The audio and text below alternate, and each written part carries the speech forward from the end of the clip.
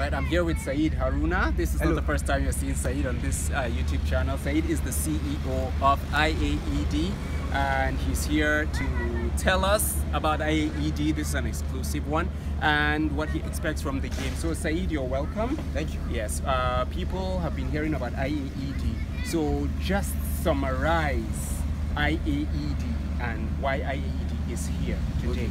So basically, IAED is uh, um, a foundation that we started to basically do commu- uh, community development uh, Okay. through education. Uh, we do a bunch of uh, pro- programs in uh, low-income communities for people from low-income households, Okay. uh, specifically based on around, uh, around education. All right. Yeah. Okay.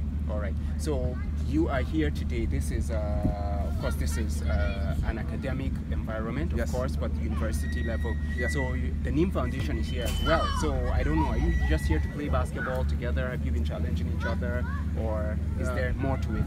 Yeah, so basically, um, some of the people from Neem Foundations are good friends of mine. Okay. As well, and Neem Foundation is actually very good. They do a lot of advocacy. They do a lot of integration for people that have been affected, you know, by.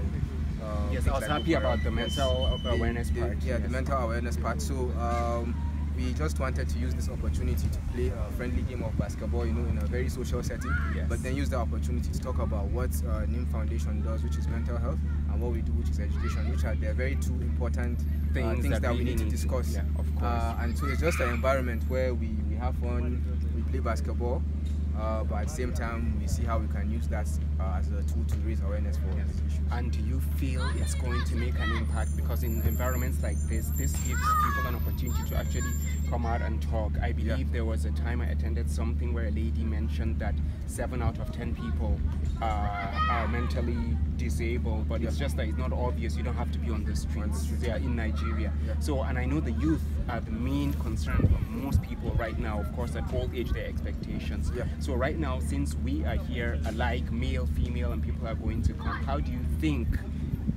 this can you can marry that with uh, as in the people coming in to watch? Yeah. How can you spread this awareness of mental mental health? How can you do that?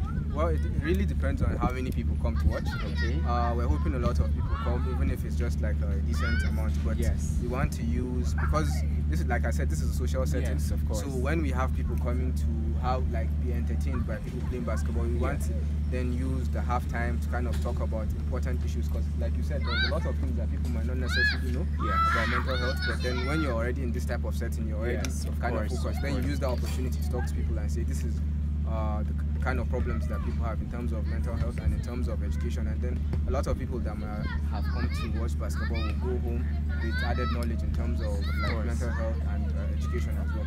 So that's what we're trying to use this uh, for. Because uh, maybe we're at a level where um, people might not necessarily just want to sit down and listen to people talk. Of if, course. If you come in a social in a setting, way that is going a different approach. Let's yes, say. yes. Okay. So the, it's really, it's, it is really um, kind of we rely heavily on how many people are going to come.